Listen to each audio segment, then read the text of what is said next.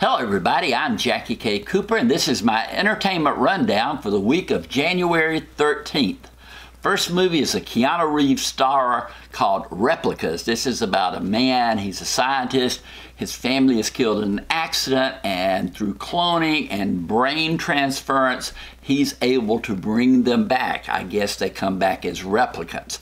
But you know, Keanu Reeves is one of those actors who's low key and everything, he kind of underplays it. Well, this whole movie is underplayed. It's not a great movie, but it's fun. The idea for it was all right. It's rated PG 13, that's for profanity and violence, and I scored it 5 out of 10. Next, we have if Beale Street Could Talk. This one has got a lot of rave reviews. It stars Kiki, Jane, Kiki Layne and Stephen James, and then Regina King, who keeps winning awards for her performance supporting actress in this film. It's based on a book by James Baldwin. It's a love story, but it is slow moving from beginning to end. I kept thinking there's got to be something to speed this up, and then when it's over, it's over. Not necessarily things have been reconciled or whatever, it's just gone. But the acting is really good. Stephen James, who I just saw on the uh, Amazon series Homecoming, is just a terrific young actor, and he really plays out well in this movie. This film is rated R for profanity and nudity and adult situations. I scored it 5 out of 10.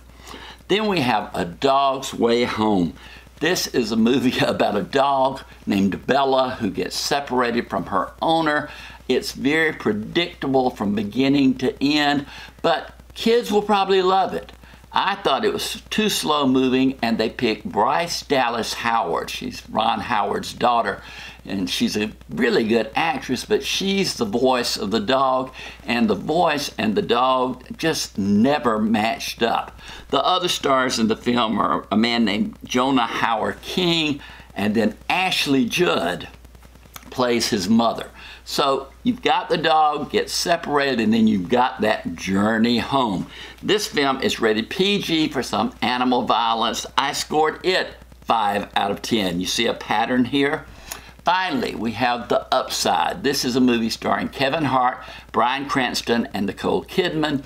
It's based on a true story about a quadriplegic and his the person he selects as his caregiver.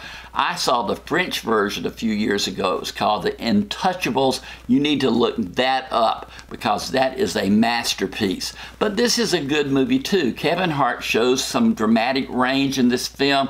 Bryan Cranston is always good. Nicole Kidman's role as his assistant is kind of a throwaway role, but you'll still enjoy seeing her on screen. This film is rated PG 13 for profanity and adult situations. I scored it 7 out of 10. Next week, we're going to be talking about a movie called Glass. Comic book people, aficionados know what that movie is going to be about. And then we're going to have a movie, a foreign film called Cold War. And then there's a new Netflix movie called Close. So we're going to be covering all three of those. But this has been Jackie K. Cooper's Entertainment Rundown.